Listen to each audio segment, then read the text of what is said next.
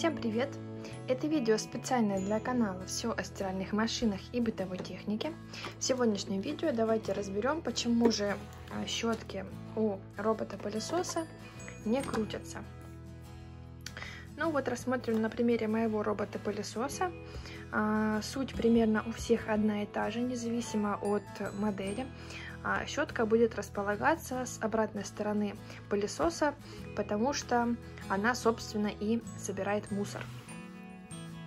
Так, рассмотрим для начала такие моменты, которые могли произойти в быту дома без какой-либо вашей вины, да.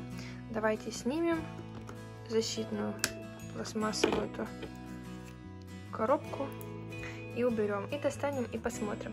Но вот сразу, я думаю, да, можно будет обратить внимание на первые самые моменты. Это грязь и пыль, которая у нас забивается здесь, вот как раз вот они поворотные механизмы. То есть а, вот это все может забиваться, то есть там шерстью, волосами, и, соответственно, не давать возможности щетки крутиться.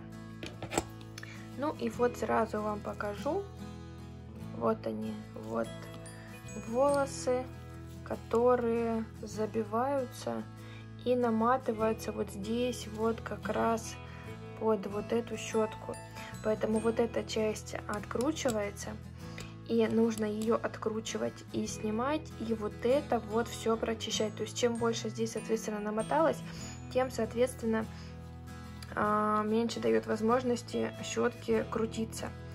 А также это касается и, в принципе, самой щетки, потому что а, волосы могут наматываться и а, вокруг щетки по всей длине, не только вот здесь, вот в этих прорезях.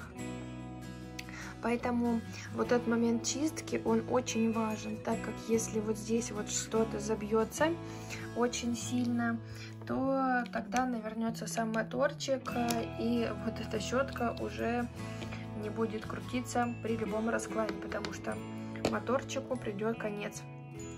И тогда придется покупать а, новый моторчик, этот искать подходящий да, под ваш робот-пылесос. Ну, хотя, в принципе, сейчас с а, запчастями сильно проблем нет, даже с китайскими, потому что а, заказать, найти можно а, везде и все что угодно, даже что-то подходящее не, не именно прям от вашей модели, потому что многие какие-то вещи и запчасти, они а, идентичные и подходящие по размеру и э, виду. Ну, я не говорю там за какие-то основные там в плане двигателя там и э, всего тому подобного. Вот, так вот, вот она причина, по которой щетки могут не крутиться. Либо вот здесь вот у нас все забилось, и это все нужно вычистить. А, либо же когда-то оно все это здесь забивалось, а вы на это внимание не обращали, и навернулся сам моторчик, который вот крутит именно вот так вот эту щетку в процессе уборки. Поэтому это единственные моменты, которые могли произойти, что щетка перестала крутиться. Потому что если у вас а, сам пылесос, в принципе, а, а, включается, выключается, работает, ездит, то есть а, спихивать какую-то поломку там на аккумулятор же тоже, да, на какую-то внутреннюю программное обеспечение самого пылесоса, я считаю, что это бессмысленно. Если бы у вас ничего не работало, не работало и не включалось, тогда да. А так, если только щетка, то вот первый момент, который следите за ним, берегите, и тогда э, четко будет долго работать. Не придется потом покупать новую. А это видео снималось специально для канала «Все о стиральных машинах и бытовой технике». Если оно вам было полезно, ставьте лайк, подписывайтесь на канал. Всем пока!